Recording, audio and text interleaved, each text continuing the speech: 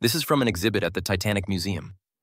Most people find it very difficult to keep their hands submerged in the water for more than a minute. There are no special devices installed. It's simply because the water temperature is faithfully recreated to match the actual ocean conditions when the Titanic sank, at a frigid 2 degrees. If that's hard to grasp, consider this. A strong, fit young man could only endure it for 8 seconds, while most people pull their hands out within 5 to 20 seconds due to the intense stinging pain. One visitor who tried it shared this reflection.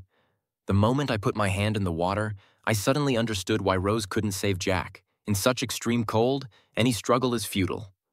The museum also simulates the ship's imbalance as its hull split apart, with a steep tilt that allows visitors to physically experience the vessel's gradual loss of control. Most visitors begin to feel physiological discomfort from the tilt within 15 seconds.